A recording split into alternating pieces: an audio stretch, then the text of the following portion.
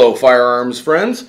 Joel Kolander with Rock Island Auction here to talk about some of just the mind-boggling items in our 2018 September Premier Firearms Auction, and there are a lot of them. So prepare yourselves for somewhat of a, a hopefully a deluge of videos before auction because we have so much to show you in this sale, um, some of which aren't even firearms.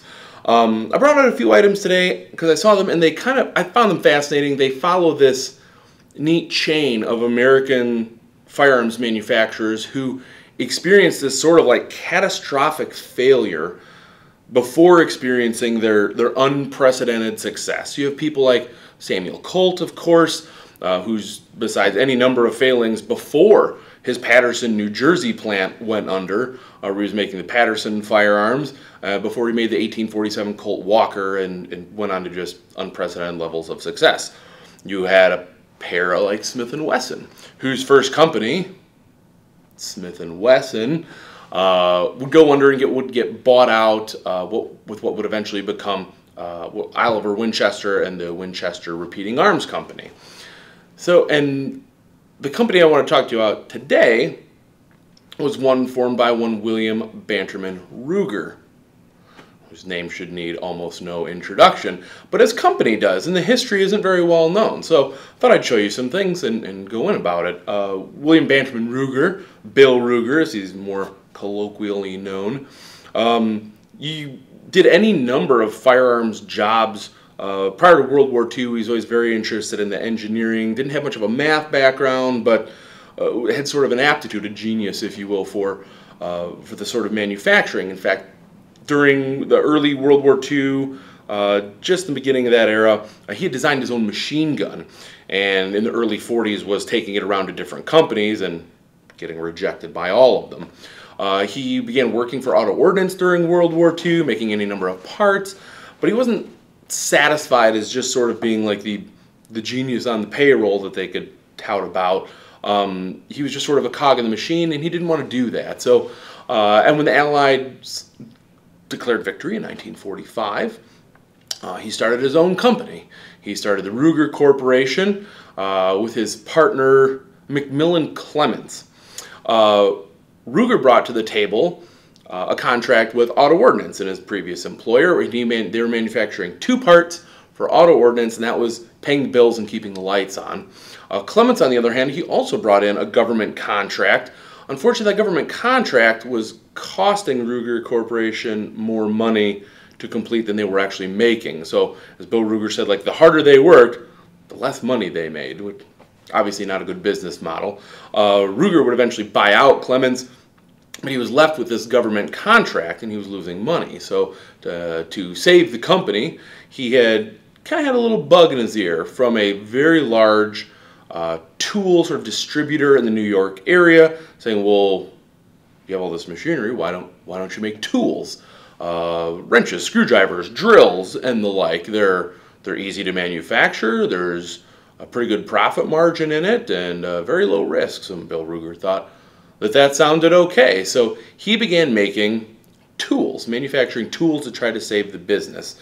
Uh, and that's what I wanted to talk to you about today. Now, the long story short, the tool manufacturing also didn't go so well for Bill Ruger. Um, he, not being familiar with the tool manufacturing business, um, there were some pretty entrenched players in that game already, and the Ruger Corporation products were very, very high quality. In fact, they were kind of priced themselves right out of the market. So um, even though he started the tool company to help the business thrive and save the business, um, it did not. Uh, that it, the bank foreclosed on the company in 1948, but it's sort of the beginning of the beginning, if you will, for Ruger Corporation, because not long after he partners up with one um, Alexander Sandy uh, Sturm, and they form in 19, uh, yeah, 1949 Sturm Ruger and Corp. Um, with Sturm's $50,000 investment, a pretty paltry sounding sum uh, for what we think of today, and actually back then it sounded pretty paltry as well. They bought back a lot of his machinery and many of the things that the bank had tried to sell uh, to get back the money on their foreclosure, as well as the original location for Sturm Ruger, so uh, or of Ruger Corp.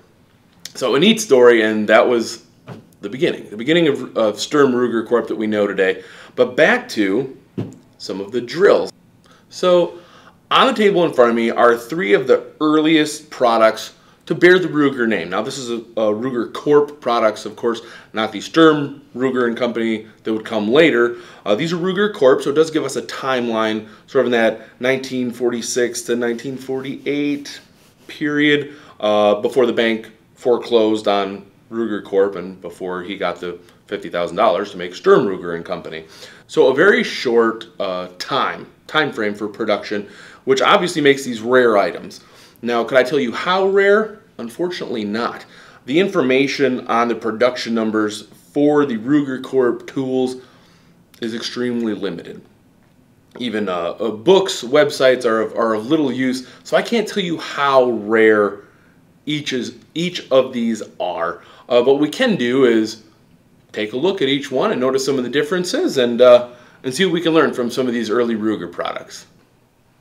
So I would love to be able to go over these with you in some semblance of order, chronologically preferably, and how they were made and what moved into what and what changed. But without with that limited factory information, we're just going to have to sort of wing it. Uh, on my left, we do have a Ruger Corp hand drill with a pistol grip that looks pretty remarkably familiar. I just happen to have a Ruger standard pistol. Now, this was the pistol that launched the company uh, in 1949, just less than a year after the bank foreclosed. Within within a year, Sturm Ruger and Company was producing these standard pistols, the pistol that Bill Ruger had wanted to design, kind of based off the Luger aesthetic, uh, but designed to compete with the Colts and the high standards of the day, and he did it and uh, and you'll notice more than a few similarities in the grip. This is well noted.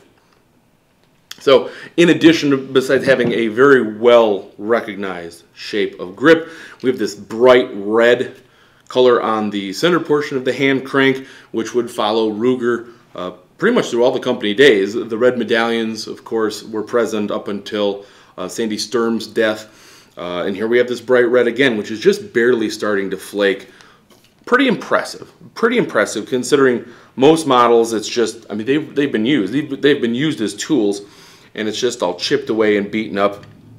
This is just flaked off naturally with age. This is a pretty remarkable condition hand drill. Here on top we do have the markings, uh, which do read the Ruger Corp in Southport, Connecticut, USA, patents pending.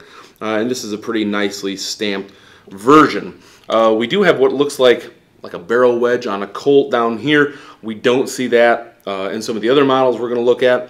We do have also on the bottom a sort of a sort of magazine well of types, and I don't know if that's where people kept bits. As I said, information on the Ruger Corp tools is, is pretty limited. Uh, but we do start to see some of the variations that'll come up and we'll go over these. We have an aluminum handle here or a metal handle here. Um, on some models you see in some photos the, those are actually wood. Um, some of the handles, the actual crank that used to, uh, to, move, to operate the drill can actually be extended, um, like slid out. This one actually has some different screw holes so you can change the position of the handle to give it a, a longer or shorter sort of radius for that arm there. Um, not much else what to say about it. Like I said, it's, it's pretty limited. Here we have a straight hand drill with this big knurled heavy duty handle on the back. This is pretty heavy. This is this is borderline club status. Um, again, with our bright, bright red wheel. This one is a painted wooden handle right here, so it kind of separates it from the other two with the angled grips. And our last angled grip is kind of special. Um, besides, so we've lost the barrel wedge in the center portion here for this little indentation. We still have our bright red disc on top. We still have the markings, the Ruger Corp, patents pending, but it's also been engraved all over this grip. And really well done. This isn't just some shabby thing. You know, unfortunately, I don't know if this is done by Ruger Corp, uh, if this was something that was done Later, Ruger was no uh, stranger to presentations. He presented some of the earliest um, standard 22 pistols to people like Julian Hatcher and uh, editors of, of sports and outdoorsman magazines. So, was this a presentation piece? Was this just somebody practicing their engraving later on because they knew they could say they had an engraved early Ruger? Not sure. That information is available to me, but really just a beautiful example of an early Ruger manufactured piece. Okay, hold up. Stop the video. Now, I've never done a stop the video interlude before, and then again, I've never really had last minute information like I have for this particular item. So, you just got done heard me sort of pontificating about the origins of the engraving on this Ruger Corp precision hand drill. We didn't know whether it was Ruger Corp factory engraving, whether it was a presentation maybe from Bill Ruger. Uh, those two scenarios seemed unlikely, but without evidence for or against it, it's a it's a valid theory for the for the origins of the engraving. It also could have come from a collector or somebody after the fact. This seemed more plausible, at least to me. Um, but again, with no evidence for or against it, it's it's another theory. Well, I had this video finished. It was in the can, filmed, edited, ready to post on YouTube for you all. And then Two days later, we get some information, new information, and I wanted to make sure it made it in the video because it does clear some things up. Now, we received a copy of the Ruger Collectors Association Journal. It's a quarterly publication, and what should appear on the cover of volume 31, number 3, but one engraved Ruger Corp precision hand drill. Now, there's not an article in the journal about the hand drill, but there is a really nice cover caption, and I quote, Interesting and elaborately engraved Ruger Corp precision drill, manufactured 1947 to 48. It is believed that an RCA member had this drill decorated about 30 years ago, and that lists the name of the member in the current collection.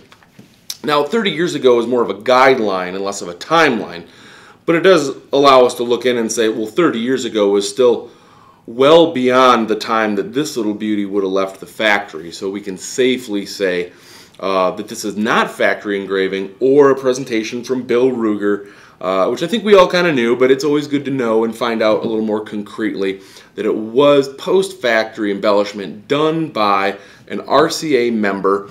And uh, now back to your video. Now, if you're a Ruger collector and you've got your flat gates and you've got your plumb frames, going after early high condition pieces like these Ruger Corp hand drills is pretty much a no-brainer. I mean, if you try to get an early production Colt Paterson, you're, you're treading six figures pretty quick. If you try to get early figures Smith & Wessons and Volcanics, boy, you're going to run into five figures pretty quick. To run into some of these Ruger hand drills, there's an extremely low cost of entry and you've got yourself a piece of firearms history. So for that reason and many others, I wanted to show these to you today and just talk about some history of a very well-known American firearms company with maybe an origin story that people aren't as familiar with. So make sure you tune in for a bunch more firearms videos for the September 2018 Premier Firearms Auction. Click that subscribe button in the bottom. Until next time, everybody, keep your powder dry.